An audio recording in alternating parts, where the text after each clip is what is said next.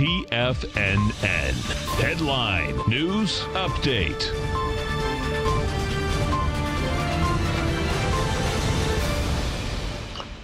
Hi everyone, Basil Chapman here. This is the Tiger Technicians Hour about to start in another few minutes, but we'll first have the Tiger TFNN update. This is noon and the Dow's up 122. It was up quite a bit more. It was up at the 28,944 level earlier this morning.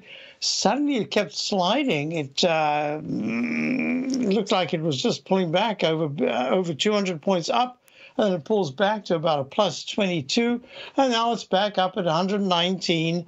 Uh, this is very interesting because for quite a few days here, you've had many Dow stocks just in complete opposites. You've had yesterday, you had Boeing down sharply, you had Pfizer down sharply, but you had Apple up sharply, and you had JP Morgan up sharply. And that's exactly the same thing today. You've got Apple up nine, at 326 and you've got uh, what was the other one and, and, boeing this time is up and then you've got a number of dow stocks down this is going to be a very important week when we finish on friday so let's go through the numbers we're looking at the dow um, having dropped sharply from 29,300s to 28,600s now in the middle of the range.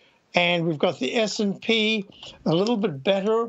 Uh, it is up uh, 10 at 32.86. It hit 3,337 on the 21st, uh, dropped to the 32.34 level three days ago. Now it's rallying, but it isn't great. It's, it's looking okay. It's really looking like we're going to get a peak D in the weekly chart. That's going to be important. Look at the QQQ, the NDX 100, and this uh, NDX 100 uh, quite a bit um, influenced by Apple. It's at 222. It's up 70 cents. Had a high of 225.88 four days ago, a low three days ago of 217.28. And it's it's trying to rebound, but it looks to me with that doji candle in the weekly chart, there's a really good chance that this could be a top for a little while. If we start to trade above the highs that were made uh, four days ago in any of the indices, that's very positive action. I think it's going to be difficult to do.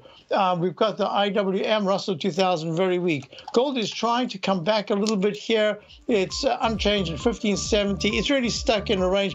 Yeah, crude oil is, in fact, um, trying to rally as well. It's not looking too great. It's at 53, but it's the TLT that we're going to talk about in this next segment coming up, the Tiger Technicians Hour.